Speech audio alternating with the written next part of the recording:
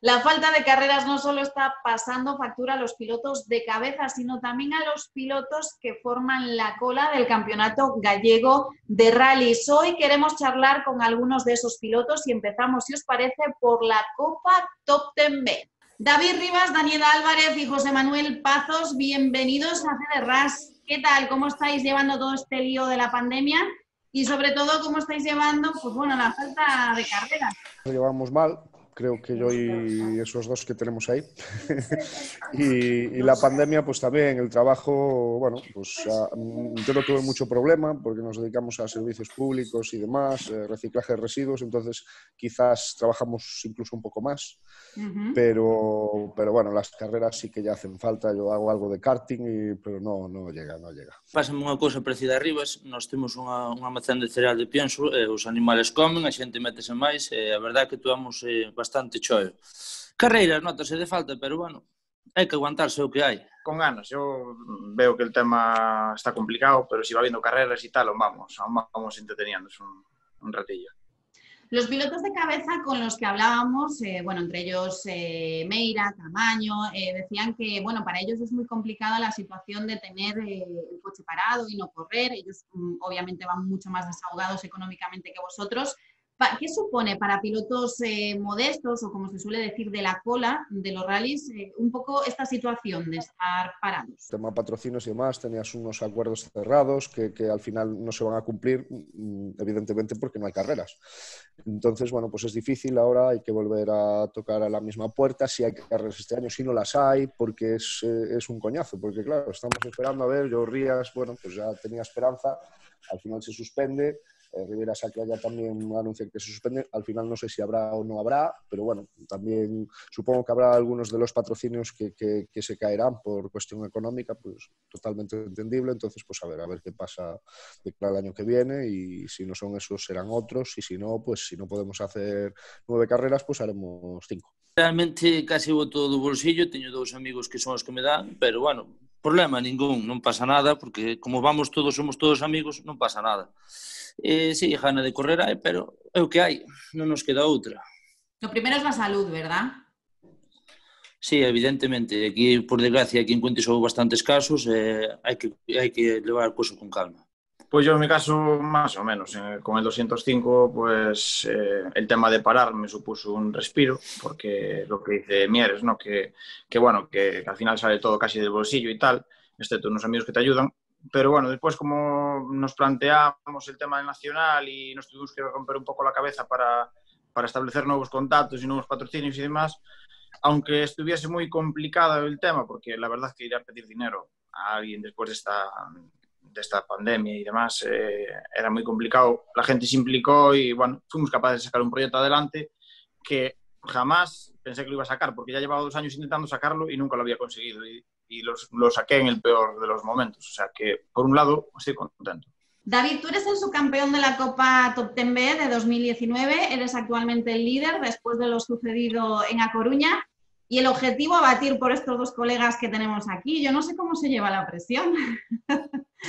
Se lleva bien, se lleva, yo la llevo muy bien por una razón, porque es la primera carrera que le gano a Dani y, y, Pazo siempre me estuvo ganando tramos como un cabrón, entonces se lleva genial. O sea, lo cojonudo es que vino la pandemia y ya no hay más carreras. O sea, ya, ahora. Pues ahora ya quedas como campeón, ¿no? Qué sí, cabrón. No, pero muy guay. no, muy bien, muy bien porque hay, hay muy buen rollo y, y, de hecho echamos unas buenas carreras eh, con Dani el año pasado en, en San Froilán, eh, ya bueno, unos tramos impresionantes, o sea, quedando a pocos segundos uno del otro y eso es lo, es lo bonito, a mí es lo que me gusta, vamos, no, no ganar uno y, y, no, tener, no tener con quién pelear. Esto no se dan de cuenta que yo soy un chico ya con 38 años, ellos son unos jovencitos Yo cojo el coche y lo cogí en Santiago el año pasado, desde Santiago no lo volví a coger y estoy con ellos. Esto no vale para nada. Uno hace karting, otro nacional y no nada. Yo lo cojo una vez cada año, al año y le ando con ellos. Claro, y, tramposos, que sois unos tramposos, no hacen más que entrenar. Sí, y aún por encima, mira, te quedaste a, a cinco segundos, ¿no? Creo que de Dani. Sí, porque me, no, me, me falló la parrilla de faro, si no, no me ganaba, ya lo sabe él también. Eso, Eso es cierto, eso es cierto. Ahí la verdad que la segunda plaza era tuya, pero bueno, hay que estar siempre a la espera. Me imagino que llevar a todo un campeón gallego a la derecha como es eh, José Pintor, pues también te ayudará a llevar mejor esa, esa presión, ¿no? Sí, sí, la verdad es que, a ver, casi todos los copies que llevé son grandes copilotos, tanto Vieitez como, como Néstor Casal. Em, de hecho, fui con David el año pasado en, en, Viveiro, también es un máquina, o sea, impresionante. Y Pintor, aparte de, aparte de ser muy buen copy, es muy buen amigo, hay muy buena relación, tenemos, bueno, pues esa relación cercana que tienes con un amigo y tal, entonces ya fue, fue la caña porque, bueno, eh, no sé, tenemos ahí unas interiores bastante chistosas porque me apuraban todos los lados, venga caña, venga caña y, y bueno, eh, pues la verdad es que, que muy bien, ¿no? Muy bien con él y las notas le gustaron, eh, entonces él iba cómodo, iba cómodo y ahí salían los tiempos. Dani, tú te llevabas en A Coruña el puesto de plata porque Mieres te dejó, claro, si no, no, te lo llevarías. Pero tú eres de esos pilotos que el confinamiento te ha dado para pensar, has tenido mucho tiempo y como nos decías antes, te has liado la manta a la cabeza y este año sí, con todas las complicaciones, has decidido salir a Nacional dentro de la Copa Suzuki? Yo tengo una mm, complicación y es que no dispongo de tiempo para estar fuera en las carreras, por eso siempre corro en Galicia, porque vas el fin de semana, corres y, estás aquí, ¿no? En Nacional es complicado por eso, porque necesitas estar desde miércoles fuera y pierdes muchísimos días de trabajar. Eh, con esto de la pandemia, la cuarentena y demás, la temporada de la Copa Suzuki se ha cortado a cuatro carreras, más una que no puntúa, y como ya llevábamos dos años intentando salir en ella, pues eh, volvió a surgir la oportunidad y, nos pusimos a pensar en ello. Porque además dos de las pruebas eran aquí en Galicia, ¿no? Entonces, dos en Galicia, una en Asturias, bueno, pues como que esos cuatro días, bueno, lo puedes hacer una excepción, más una mayores en Cataluña. Pues al final pues decidimos marcarnos. Y la idea me imagino que será, si hay efectivamente campeonato gallego, compaginar ¿no? ambos certámenes. Aunque solo hubiese una prueba, mm, pocas más puede haber, puede haber una o dos pruebas mayores, eh, estamos segundos en la Copa, no podemos dejar a David eh, que se marche con el título así sin más. Entonces, si lo hay y no coinciden eh, pruebas de nacional y gallego, por supuesto, vamos a intentar estar, claro que sí. Oye, ¿cómo se lleva eso de ser el piloto revelación en Galicia en los últimos años con un 205? Te mete mucha presión, ¿no? Sobre todo, por ejemplo, ahora en el tema nacional, porque como que te, te mete mucha presión, que todo el mundo esté pendiente de ti y demás, cuando en realidad eh, vas con menos ventaja que nadie y eres un aprendiz y un novato total. Es decir, que tienes que hacer kilómetros para llegar a correr a, a, buen nivel en esa copa, ¿no? Es una copa que tiene mucho nivel y, y bueno, yo creo que en el 205 sí somos rápidos, pero en el Swift eh, rodaje puro y absoluto hasta llegar a correr y, y andar rápido. Un 205 R2. Casi, casi. Bueno, los tiempos y las clasificaciones eh, están ahí. Eh, has conseguido entrar en el top 10 con un coche en muchos casos muy inferior al del resto de tus rivales. Y muchos hacen ya comparaciones con otros pilotos. Te comparan con Mora, por ejemplo. Qué poco me gustan las comparaciones, sí, porque, no sé, es comparar el tocino con la velocidad. No, Mora es un pilotazo, no, es indiscutible que es un pilotazo y es un, un tío rapidísimo, como, como el que más, pero también las condiciones son otras, ¿no? Mi coche corre bien, anda bien, pero no es un, no es un prototipo, no, no, es, un, no ese tipo de, de, coche. También es cierto que, oye, a mí me gustaría medirme no hay igual de condiciones, ¿eh? no me importaría, pero que se tiene que venir él aquí. Yo a los rally sprint no me, yo no me meto en un rally sprint, ¿no? porque eso es muy peligroso. Mieres, ¿tú qué opinas? ¿Que, ¿Que, tiene el coche trampeado el 205 aquí el amigo Dani? Hombre, el mecánico Hombre. de él es el mismo que el mío, entonces no se puede decir todo. Vaya dos que tienes aquí, que no te ponen las cosas nada fáciles, ¿eh? Lo que mola de las carreras es el, es el compañerismo. De nada te vale que vayas a una carrera, no tengas con quién hablar y andar a tu bola. No, lo bueno que tenemos nosotros es que acabaste un tramo. ¿Cuánto me metiste? Dos, uno. Puto cabrón, en el siguiente te voy a, meter, te voy a machacar la, el, el, buen rollo que tenemos entre nosotros, que vas a las carreras y vas contento, vas haciendo lo que te gusta y acabas un tramo y acabas contento. ¿Y tú confías en que este año se pueda celebrar el campeonato gallego o no? Yo voy a hablar claro, yo si se hacen más carreras no creo que corra más este año, di el año por perdido. Eh, pues el padrino de mi hijo le regaló un car que aún lo vio ahí arriba el domingo y empecé con él en el circuito y ahora voy a ver si lo pongo a correr para el año. Entonces este año lo doy por parado, para el año ya veremos. No será como esto que dicen, no voy a correr más y luego vuelven. No, no, no, seguro. Eh, me están rompiendo la cabeza que sacaron los de Terra de Agua un comunicado que si lo hacen, si lo hacen, pues igual me animo a hacerlo, que sí que tenía ganas de correr, lo que yo lo iba a correr el año pasado. Pero en gallego no creo que corra más nada. Bueno, y en todo caso, chicos, ¿cómo analizáis la gestión de la federación en esta crisis sanitaria? ¿Las escuderías gallegas creéis que están realmente preparadas para sacar carreras adelante en esta situación? Porque, claro, eh, no es lo mismo las escuderías a nivel nacional. Yo creo que son un poco optimistas, ¿no? que, que bueno, que hacen calendarios cada mm, tres días eh, según cómo van las cosas y yo creo que esa no es la solución. La solución será, pues, pues no sé, eh, o bien dejar todo por perdido este año eh, e intentar buscar una solución con escuderías, pilotos y demás. Yo creo que sería la mejor solución.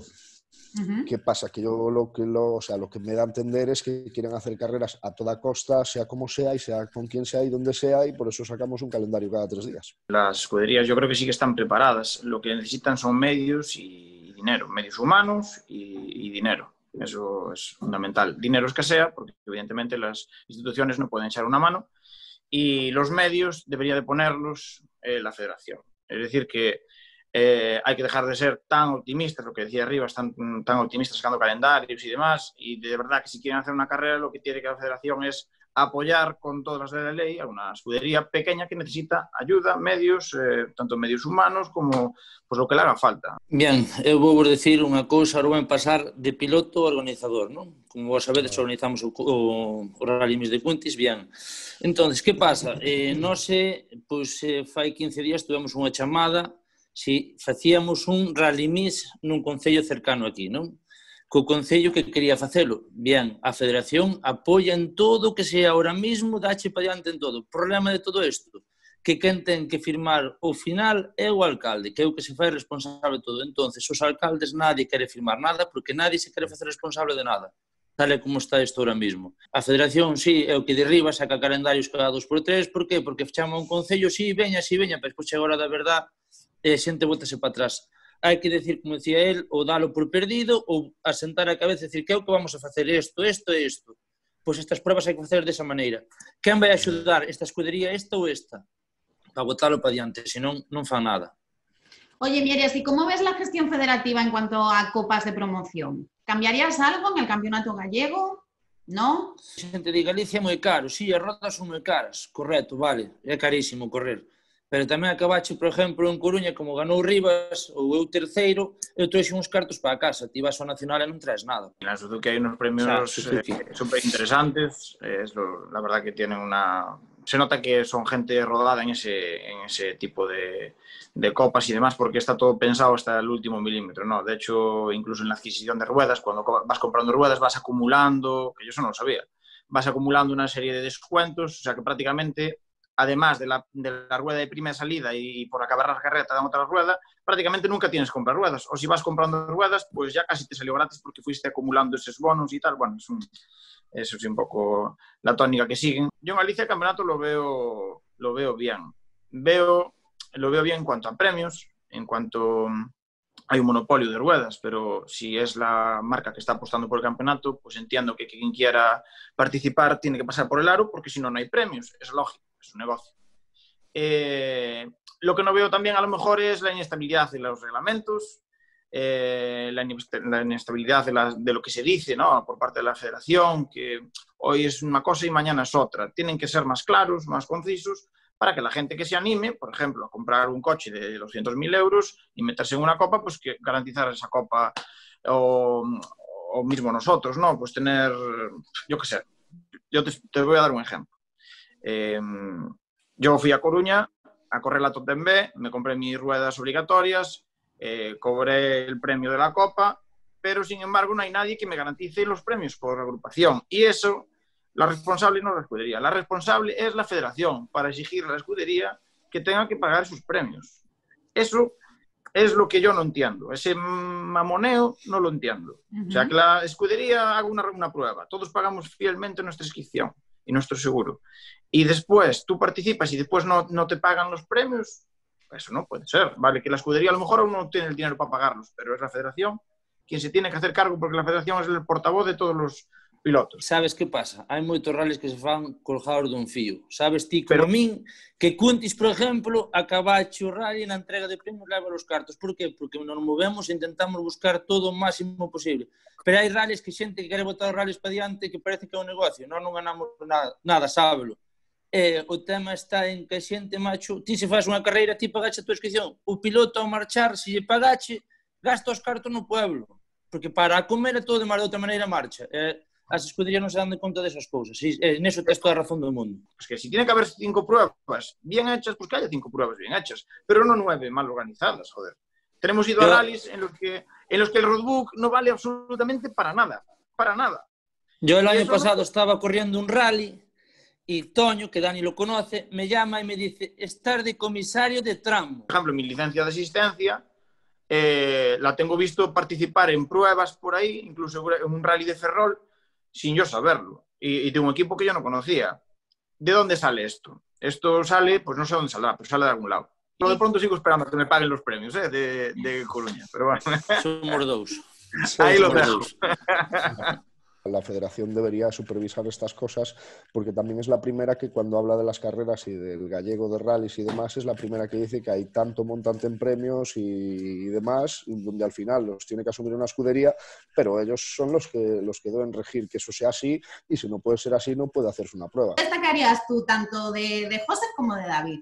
De Rivas, que es un tío fiable, que es un tío que siempre está mm, ahí, que es estable, hay carreras que suelen salir un poquito mejor, otras peor, pero bueno, eso todos los pilotos no salen así, ¿no? Pero es un tío que no, no suele fallar.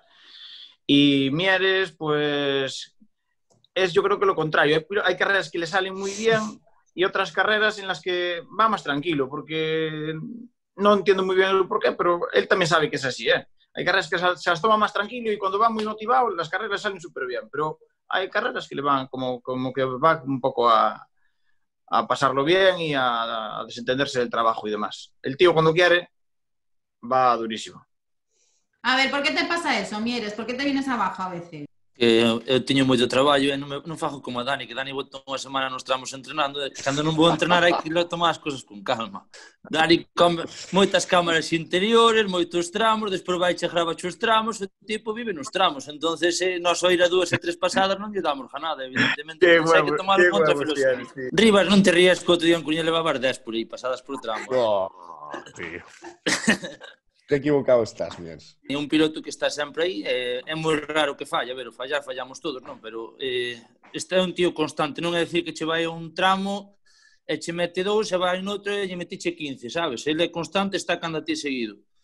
Eh, de Dani, Dani é un tío que leva todo estudiado da casa. É como cando vas a un examen de, de inglés ou do que sea, o tío leva todo calculado da casa e sabe o que ten que facer en todo momento. Non é como a nós que vas ali e o que sabe sale. Él no, él ten todo estudiado. Pero eso también le honra, ¿no? El trabajo previo, que es muy importante. Claro, pero xa dixen antes, porque el ten moito tempo libre, home. E eh, pode facer moitas cousas. Pois pues nada, mira, de Dani, un crack, é un tío del que, del que aprendes cosas, eh, porque yo aparte soy de, de, fijarme, fijarme en la gente que me supera y, y, y, ver por dónde puedo recortar, qué es lo que puedo hacer. Entonces, bueno, pues ahí, ahí tenemos un crack de piloto con el coche que lleva y, y bueno. Entonces, incluso, ya digo, mm, para mí es un referente, a pesar de que corre con un coche, pues digamos, inferior al mío, si se puede decir, que bueno, que el nuestro ahora el motor consume más aceite que, que lleva, casi entonces ya hay que hacer el motor, eh, las últimas carreras ya, ya padece un poco. Y, y después de, de, de, Pazos, que es un tío impresionante, o sea, es lo que decía Dani, un rally te mete cinco y en el rally siguiente no sabes dónde está y dices, hostia, este tío que le ha pasado. Pero siempre tienes que estar mirando por el rabillo del ojo, porque rápidamente viene y te dicen, el siguiente te voy a meter no sé qué, plamba, y te los mete. Bueno chicos, pues un placer haber charlado con vosotros y sobre todo ver este buen ambiente que hay dentro de las copas, dentro del campeonato gallego. Esperamos veros pronto ya en carne y hueso, no de forma telemática, y si es contiendo, mucho mejor. Genial. Pues vale. eh, yo encantado de que nos hayas hecho la entrevista y a ver si nos vemos pronto por las carreras, a ver si podemos salir de casa y, y exprimirnos un poquito. Ti sí, se fucho outro día, eu más arriba estamos a mirar, DJ Rivas, el vai mirar, el sí, a ver se si nos podemos ver nas carreiras, é o que corre, eh, e nos miramos. Claro, pero hai que, hai que, hai que saber aproveitar, mires, hai que ir a mirar a ver como fai, para despois ganarlle. Eu xa fui, no, este non fai falta mirarlle moito.